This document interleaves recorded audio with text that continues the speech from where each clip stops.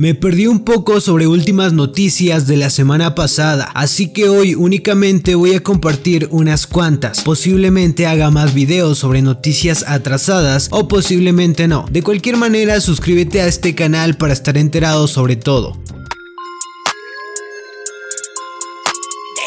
Ahora los saludos para la gente que comenta los temas recomendados saldrán durante el video.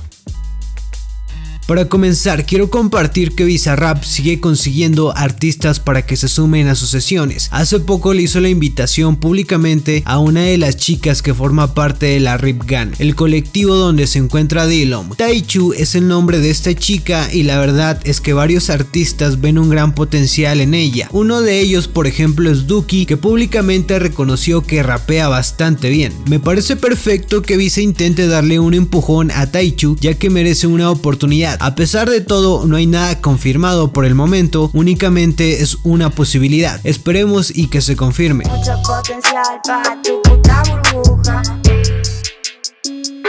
Luego también Pablo Puch, después de tanto tiempo, lanzó su denuncia contra Paulo Londra. Esto ya desde hace varios meses se venía avisando y no era tanta la importancia en ese momento. Pablo Puch fue el primer productor de Paulo Londra con el cual lanzó sus primeros temas. Pasa que cuando Paulo Londra firma con Big Ligas, Pablo Puch queda fuera del juego. Así que Pablo Puch busca ese reconocimiento y esa remuneración económica sobre el éxito de Paulo.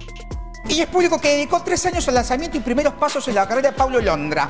Hoy está fuera del círculo y del negocio multimillonario de Paulo Londra. Aquí mismo con Paulo Londra les cuento que fue entrevistado y de 20 preguntas solo respondió 6. Las 14 preguntas que no respondió tenían que ver, por ejemplo, con su álbum, sobre recuerdos con Duki y sobre el problema con su sello discográfico. Al parecer Paulo no quiere o tiene prohibido hablar sobre ello. Aclaro que esta entrevista data de hace un mes y no sé por qué diablos no la vi en su momento.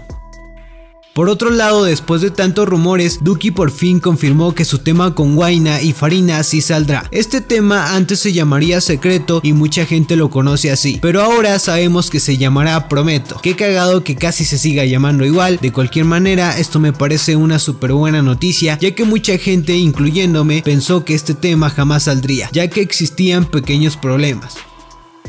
Así que nada, de mi parte esto sería todo. Gracias por ver el video y nos vemos en el próximo.